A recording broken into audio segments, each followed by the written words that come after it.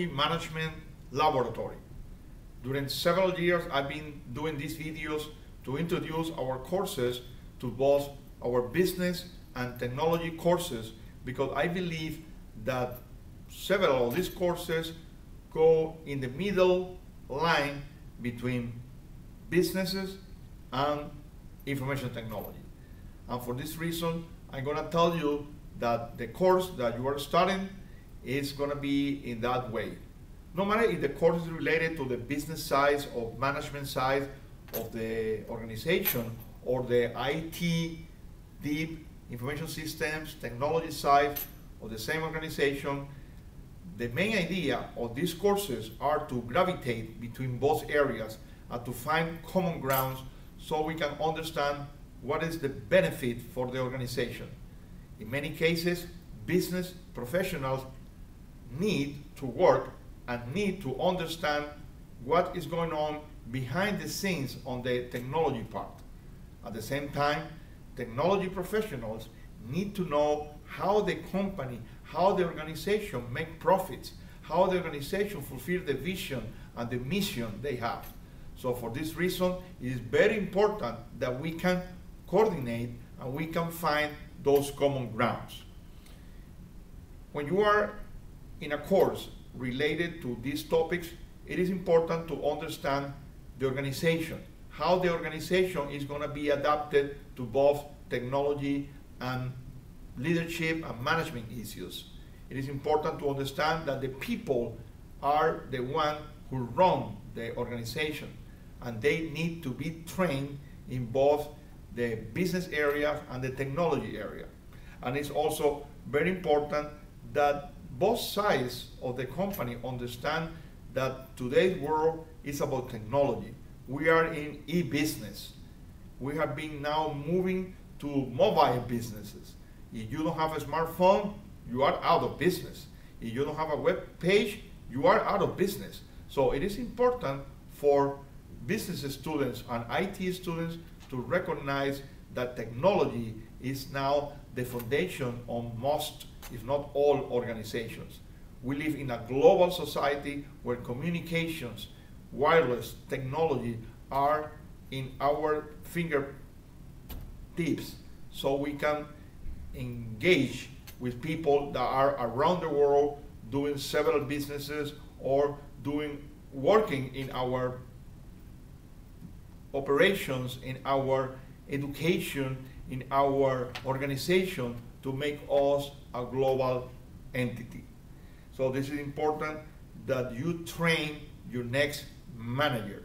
We need to be trained you know, during these courses, during these programs, because we are in business and technology, and we need to be in the cutting edge of the technology in order to keep our competitive advantage with similar organizations or similar companies that are trying to get their own share of the market in the services or products that we have.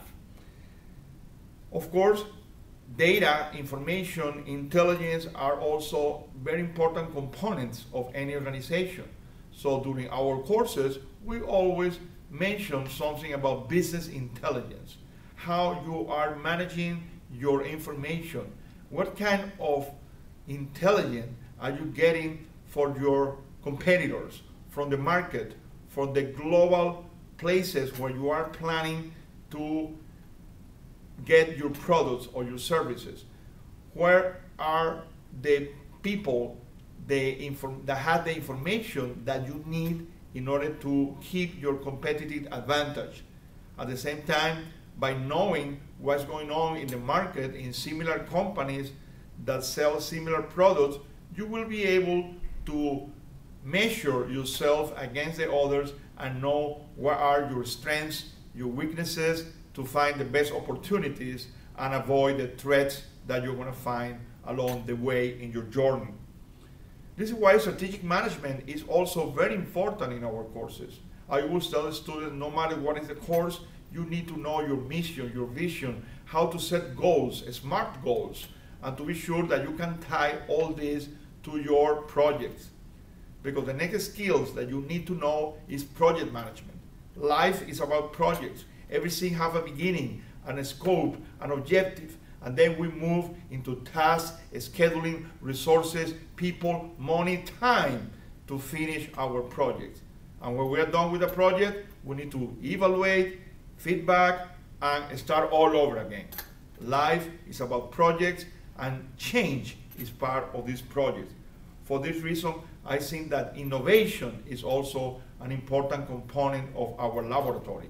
We need to know what's going on, what is new, what's happening in social media, what is the next technology that we're going to embrace, how we can improve these videos, what kind of camera I'm using today, what kind of service I'm going to use to upload this video so it can reach most of my students, what kind of smartphone I have to be able to reply to your emails in an efficient way, how I can use technology to teach more people in a very productive way and with quality.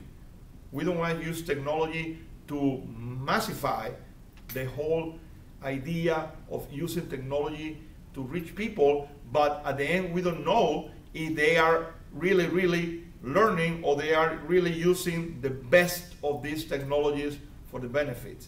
We have also an issue of information overload, technology overload, devices overload. How many cameras, smartphone, tablets, computer you have on your desk? How many screens you use it? How you are going to filter those devices, those technology to be sure that you are productive, that you are effective, that you are creating an impact in your organization or in the community around you. This is why innovation sometimes are created by crisis, by problems, by issues that we have in our organization. But this is great because you're going to find people like you that want to embrace change, embrace the new technology, be at the cutting edge, be a pioneer. This is what I've been doing all my life, trying to find what is the next thing that I'm going to use to improve what I'm using today. We have to look in the future, live in the present, but point your canoe in the right direction so you know that the next thing is going to be there and you're going to be one of those that are going to be using it. Social media today, microblogging, Twitter, Facebook are being uh, impact in companies. I assume that in a few years this video is going to be obsolete. So we have to do it again, like I did my first one, 2009, and now I am doing it again. Because the technology is moving, social media is creating a new way to share knowledge, to share information. I want you to be sure that in our courses, we are going to be embracing those technologies, those social media, to be sure that we are also exploring those areas that can benefit our courses. Of course, mobile is now uh, in the way to our learning path, so we're using mobile devices to learn more. This is a benefit for those countries that have no access to real big computers, and the only way they can learn is by the use of cell phones. So we're exploring all this because at the end, remember, we are in this global village, but it's not a melting pot we are different, we are like a salad.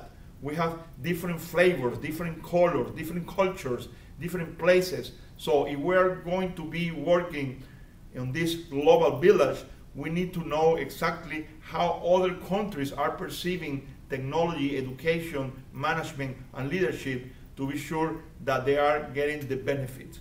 At the end of all these courses, we have to consider our social responsibility what are we doing to impact the next generation of managers, the next generation of leaders? And this is the bottom line of this video and all these courses. We are here to serve others, to teach others, to be sure that the next generation that is going to use, I don't know what kind of technology in the next century are going to get all the benefits that the technologies and the leaders can bring to the organization. Enjoy the courses enjoy these videos. You can find me everywhere online, and I'm sure that you're gonna see more of my face and my videos on this technology management laboratory.